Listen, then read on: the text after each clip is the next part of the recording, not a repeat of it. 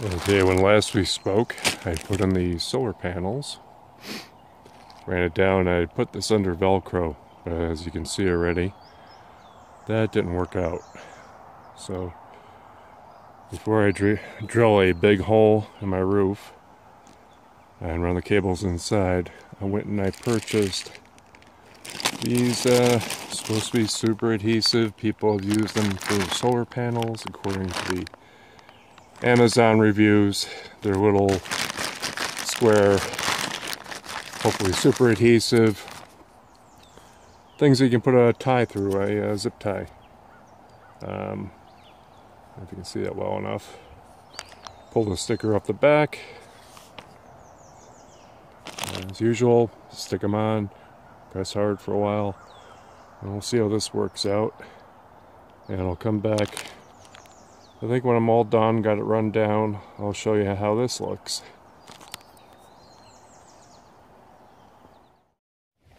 Okay, now I, I got five of the little adhesive squares in place on the fiberglass portion of the trailer.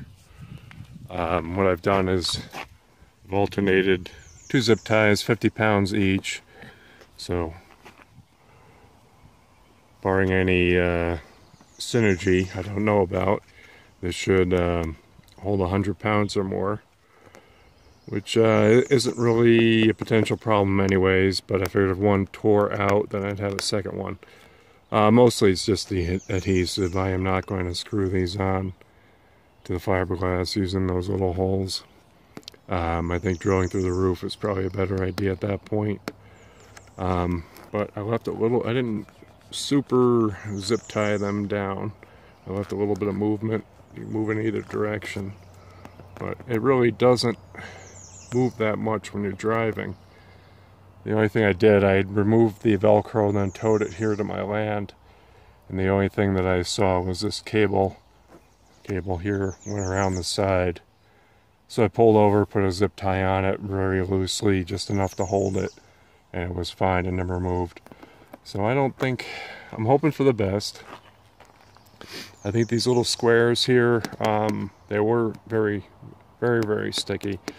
You just never know with time what's going to happen. Uh, this, I chose white because this is in the sun. It gets super hot at, at times. Um, you just never know how something's going to stand up like that.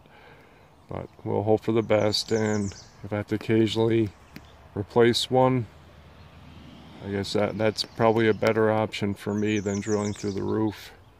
Um, obviously, if the integrity of the wire, holding the wire onto the uh, trailer doesn't work out, then this isn't going to be a long-term option, but we'll give it a shot.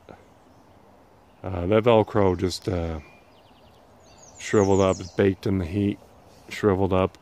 I towed the trailer about 3,200 miles down to Florida and back, and um, that didn't work out. And I think I got a piece of that left at the house. If I do, then I'll take a photo of that and put it at the beginning of the video to show you what happened. But luckily, it came off. Um, goo gone, a lot of elbow grease, and looks pretty good.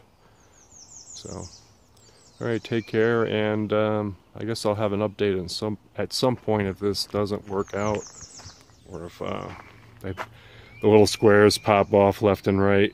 Then I'll uh, I'll let you know. But down here, I just put three on the metal frame. It's pretty much out of sight. I figured that would give it a good hold.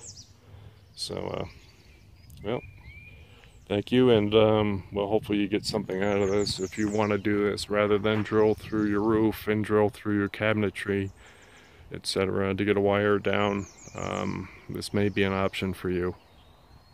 All right take care for now